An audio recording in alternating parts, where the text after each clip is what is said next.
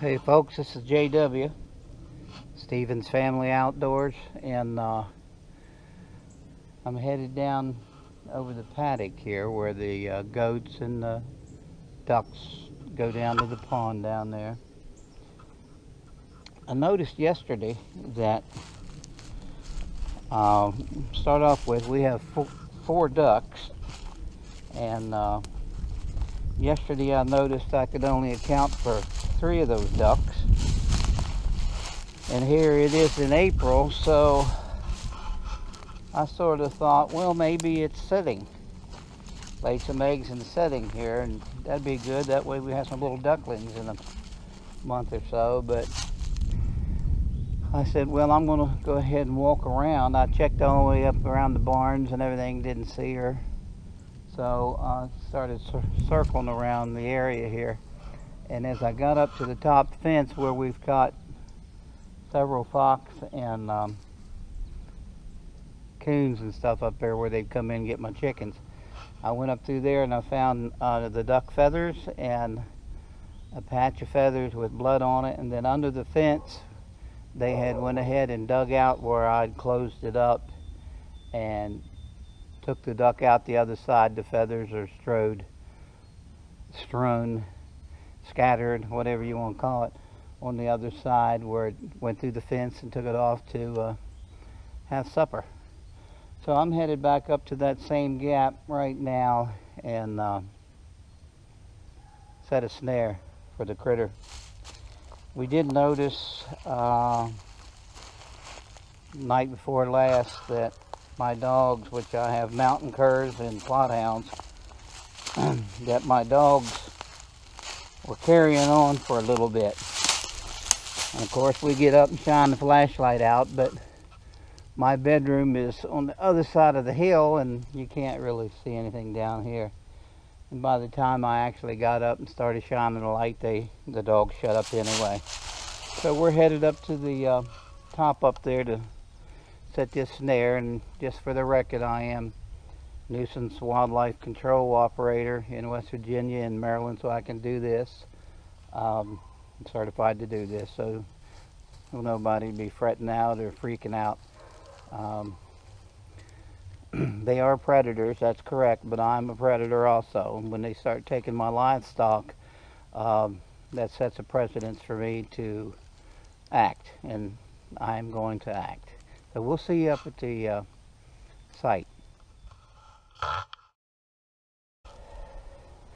Okay folks, here we are at the site and I'm going to try to show you this on this GoPro. I didn't bring my Canon over because it is on the hillside and I thought maybe I could get this done with the GoPro.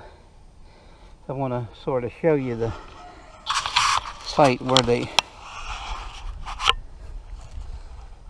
there's the duck feathers all down through here. Goes up through and there you see under the fence. And then over there that leaf's on top of it they can shove that leaf all the way. And if you look on over through there you see some more duck feathers up through there. So I'm going to go ahead and try to set this camera up so you can see me doing this here, so we'll be back with you in just a minute. Okay, so I hope you're down here at the site and hope you can see this here. If you can, I'll go ahead and post it, and so if you can, I won't. So what I'm going to do, I'm going to go ahead now my name tags are on all of my extension cables. I don't put them on my snare because I don't set a snare without an extension cable. And all my extension cables have my name tags, which makes them legal with the states.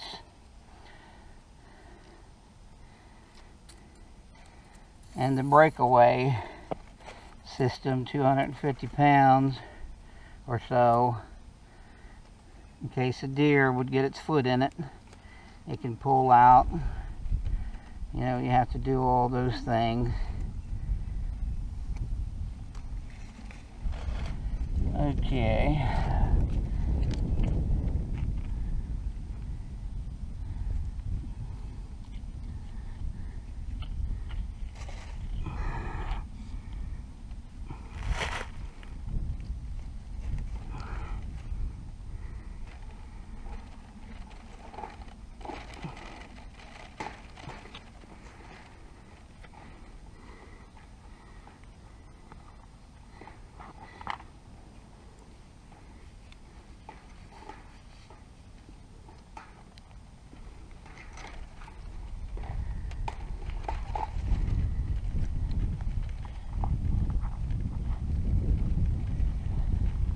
Okay, I just fastened my snare onto my wire to support it, support wire. I'm going to put it down.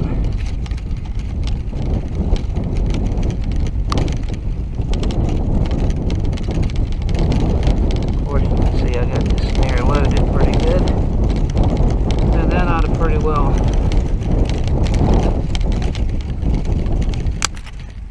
guide him into this.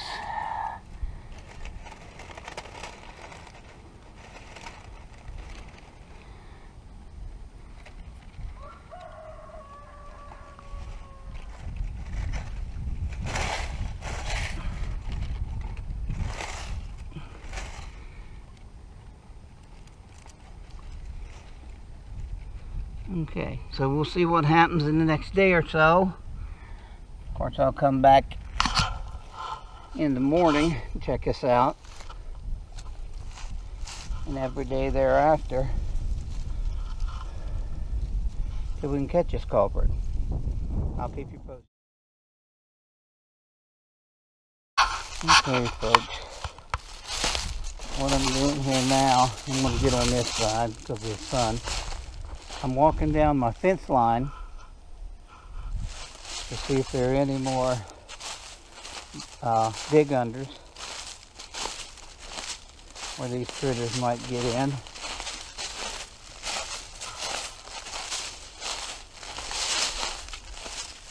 I used to raise white-tailed deer years ago and that's why the fence is so high. It's an eight foot high fence. Of course you know a coon or or a bear or possum for that matter could easily climb over it. But in this case, I'm suspecting fox. The reason I say fox and not coyote, though we have coyotes over here, and I caught one down at the bottom, if you remember that video. Uh, the hole that was coming under the fence was probably the size that a fox could slip through. I'm thinking the head of a coyote would have made it, made the um, opening a little bigger in his body as he skirted under the fence, put his legs flat on the ground. I believe he would have moved a little bit more of the debris. See if I can get down this hill without slipping behind in. Okay.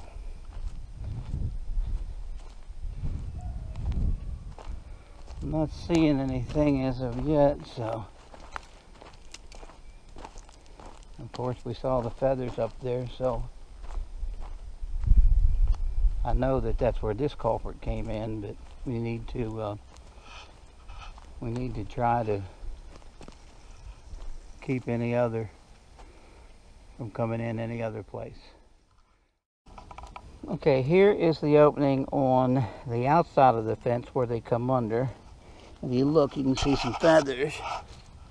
But that is more fox size at, at the most to me, or a coon going on there. I don't think it's coyote size, or everything would have been pushed away. Okay.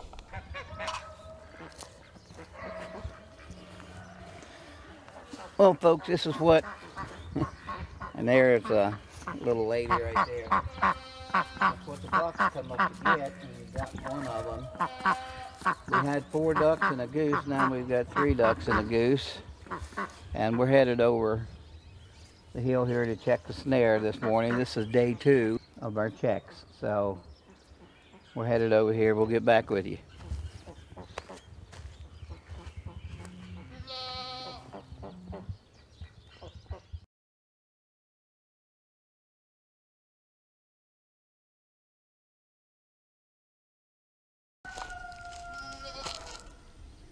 Okay folks, this is day number two of um, checking the snare for this duck killer that I assume is a red fox. As I told you earlier, I think uh, the hole was too small. The dig under the fence was too small for a coyote. And uh, I gotta watch myself. I don't fall and bust my can. And these slippery leaves. This is Saturday. And as I said, this is the second day. Second check. So we're headed up here.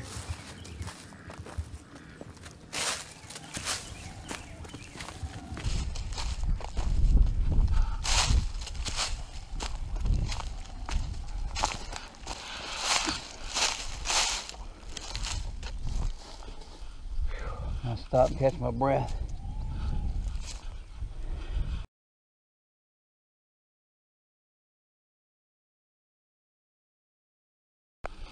Okay, we'll head on up here. Well, I see something. Looks like we've got some success here, folks.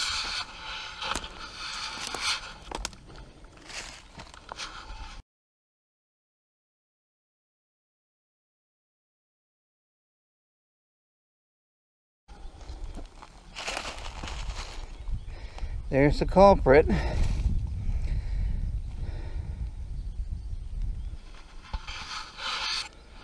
Last night, or I say this morning, about uh, about 3:30, I heard the dogs really carrying on.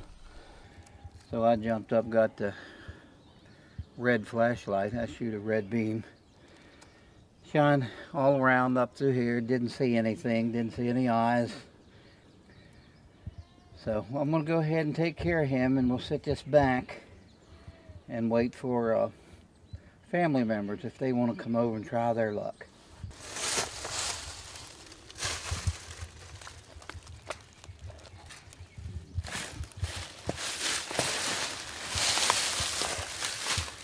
good deal It's a female. And I was hoping it was. I'm going to go ahead and set this um, snare back. What I'm doing here, folks, is just protecting what is mine. Um, we've caught coyotes down at the bottom that I was afraid would come and start killing my goats here. And uh, so we have to protect what is ours and uh, do it within the confines of the law, you know.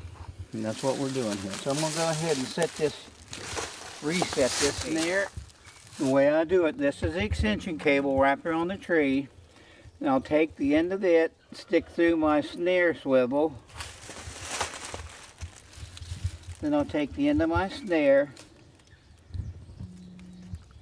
stick it through the extension cable loop, pull it back up and intertwine the two this way.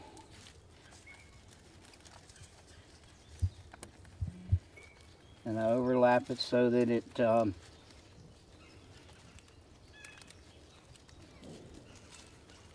has a swiveling action.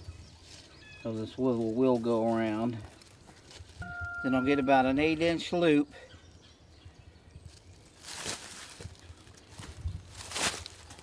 and we'll put it right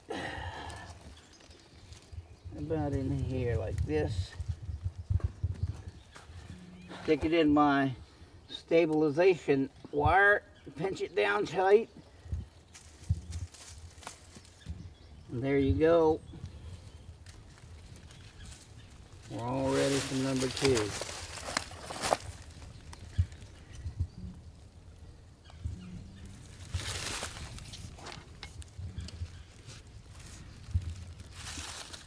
And that way I get to uh, protect my livestock, my livelihood, my egg layers, my ducks.